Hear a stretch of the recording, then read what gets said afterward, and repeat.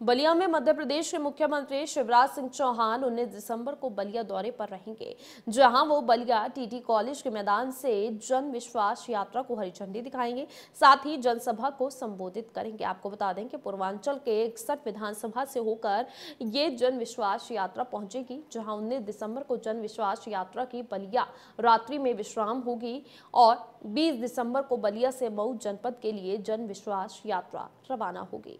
तो आपको बता दें कि आज उत्तर प्रदेश में कई जिलों से ये यात्रा जो है निकलनी है और सभी जगह पर अलग अलग तमाम बीजेपी के बड़े बड़े नेता पहुंचकर इस यात्रा को हरी झंडी दिखाएँगे। जिसकी कड़ी में आपको बता दें कि बलिया दौरे पर आज मध्य प्रदेश के मुख्यमंत्री शिवराज सिंह चौहान हैं, क्योंकि वहाँ पर वो जन विश्वास यात्रा को हरी झंडी दिखाकर रवाना करेंगे।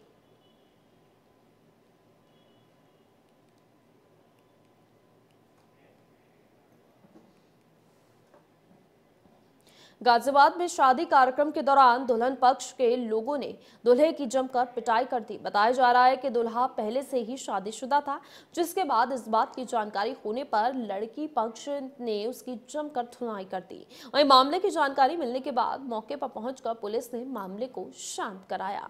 तो गाजियाबाद का ये पूरा मामला है, जहाँ पर आपको बता दें कि शादी हो रही थी, लेकिन दुल्हन पक्ष के लोगों ने दूल्हे की खूब पिटाई की, क्योंकि जानकारी उन्हें ये मिली कि लड़का पहले से ही शादीशुदा था और इस बात की जानकारी उसने नहीं दी और दोबारा से शादी वो करने जा रहा था, जिससे गुस्साए दुल्हन पक्ष के लोगों ने मंडप में ही दूल्हे को जमकर पीटा ये तस्वीरें भी आप देख सकते हैं किस तरह से दूल्हे की जमकर पिटाई की जा रही है।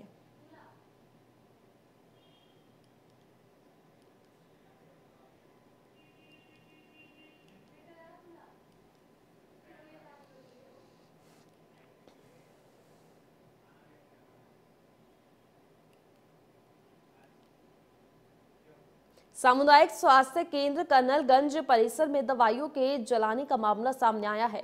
दरअसल लोगों के बीच चर्चा का विषय ये बना हुआ है। आपको बता दें कि इन दिनों एक वीडियो वायरल हो रहा है, जिसमें अस्पताल परिसर में दवाइयों का ढेर जलता दिख रहा है, जो स्वास्थ्य विभाग पर सवालिया निशान खड़े कर रहा है, जहाँ एक तरह स्वास्थ्य विभाग जो है स्वास्थ्य सेवाओं को बेहतर करने का प्रयास करती है तो वहीं दूसरी तरफ़ सी परिसर में जलती दवाइयाँ जिम्मेदारों पर सवालिया निशान खड़े कर रहा है। वहीं इस पूरे मामले में सीएचसी अधीक्षक डॉक्टर सुरेश चंद्रा का कहना है कि यहाँ दवाइयाँ उनके अस्पताल की नहीं है।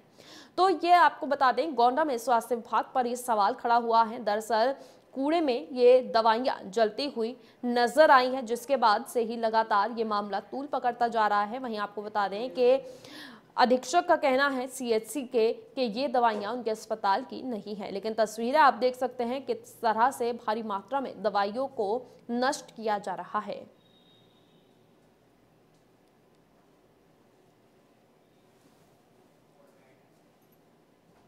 जैसा कि बताया जा रहा है कि यहाँ पे कुछ दवाइयाँ जलाई गई हैं। उस प्रकार मुझे ये कहना है कि हमारा एनएम सेंटर जो हमारे दूसरे गेट पर स्थित है तो वहाँ पर कुछ दवाइयाँ कुछ लोगों द्वारा फेंकी गई थी। हमारा वहाँ कूड़ा जलाया जा रहा था और उस कूड़े में कुछ लोगों ने दवाइयाँ फेंकी। और वो दवाइयाँ हमारे अस्पताल की नहीं हैं इसलिए इस बारे में मैं कुछ नहीं कह सकता। सर किन लोगों ने फेंकी दवाइयाँ? अब ये मुझे नहीं मालूम क्योंकि यहाँ सात आठ मेडिकल स्टोर हैं उनकी दवाई एक्सपायर हुई तो भी कहीं फेंक सकते हैं। मोस्टली ये लोग कूड़ा भी हमारे ये प्रांगण में फेंकते हैं।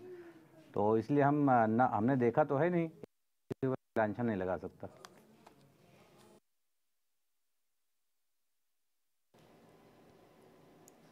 ओमिक्रॉन को देखते हुए केंद्र सरकार ने सभी राज्यों को आवश्यक दिशा निर्देश दे दिए हैं। वहीं यूपी के कानपुर में भी ओमिक्रॉन से निपटने के लिए स्वास्थ्य विभाग पूरी तरह से तैयार हो चुका है। आपको बता दें कि कानपुर देहात में स्वास्थ्य विभाग की ज्वाइंट डायरेक्टर स्वास्थ्य सेवाओं की जमीनी हकीकत देखने पहुँचे। साथ ही ओमिक्रॉन को लेकर तैयारियों की जानकारी भी ली। इसके साथ ही आपको बता दें, इस दौरान ज्वाइंट डायरेक्टर ने अधिकारियों को आवश्यक दिशा निर्देश भी दिए हैं। तो ऐसे में आपको बता दें, लगातार उत्तर प्रदेश में भी अब अलर्ट जारी कर दिया गया है ओमिक्रॉन को लेकर, क्योंकि उत्तर प्रदेश में भी ओमिक्रॉन की एंट्री हो चुकी है। गाजियाबाद में दो मामले मिल चुके हैं। उसके बाद ओमिक्रॉन को लेकर अब कानपुर देहात में स्वास्थ्य विभाग पूरी तरह से अलर्ट हो गया है। साथ ही आपको ये भी बता दें कि ज्वाइंट डायरेक्टर ने अधिकारियों को दिशा निर्देश दिए। साथ ही अस्पताल में जाकर तैयारियों का जायजा भी लिया।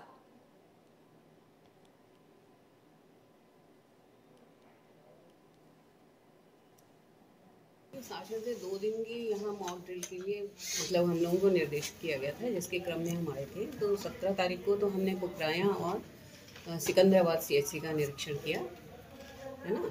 वहाँ पे मॉक ड्रिल भी कराया गया और वहाँ पे जो भी इंस्ट्रूमेंट वगैरह आए थे, उन सबको देखा, लोगों ट्रेनिंग ट्रेन लोगों को भी देखा। तो हमें तो काफ़ी मिला, कुपराया का तो खास तौर से काफ़ी अच्छा था।